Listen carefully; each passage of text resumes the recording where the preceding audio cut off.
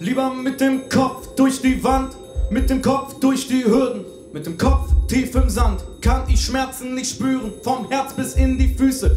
Defekte Schutzmechanismen, die da stumm Schreie kritzeln und Wunden frei wischen. Und Wunderheilmittel ist die Kugelschreiber-Tinte. Für kluge Schreiber die Minze im Mojito-Gefäß. Doch oftmals bleibt's ein Inkognito-Track im monotonen Dreck.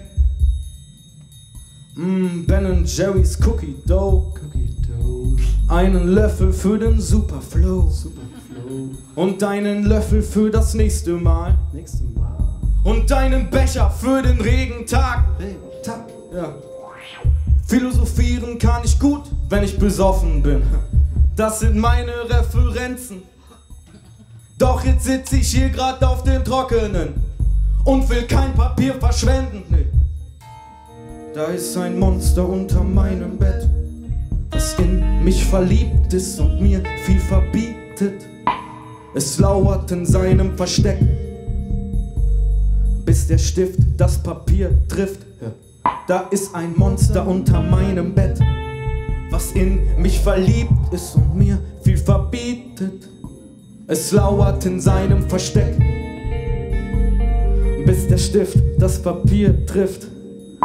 Und schon wieder wird mir kalt und schon wieder zieht der Nebel auf, der mir den Durchblick raubt, obwohl ich grad Ideen brauch.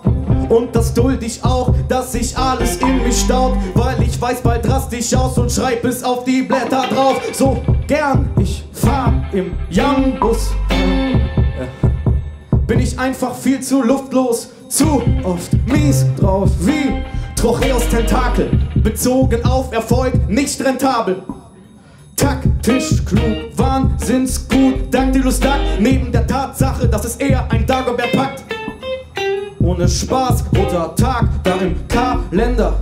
Doch es kratzt tief im Hals, ich hab die Anapest. Da ist ein Monster unter meinem Bett, was in mich verliebt ist und mir viel verbietet. Es lauert in seinem Versteck, bis der Stift das Papier trifft. Ja.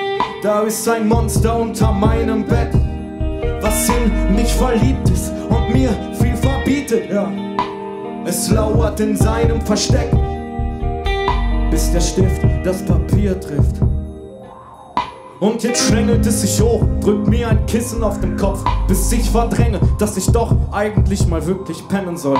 Jetzt lieg ich da ganz friedlich und ich schalte ab, denn das Monster, das verkriecht sich in der kalten Nacht. Ich hab es schon bekämpft, sogar ein paar Mal gewonnen, mal ein paar Hiebe bekommen, dabei Ideen bekommen. So bleib ich jetzt, ja, so bleib ich jetzt. Alleine, zu zweit, in meinem Bett. Da ist ein Monster unter meinem Bett, was in mich verliebt ist und mir viel verbietet. Es lauert in seinem Versteck,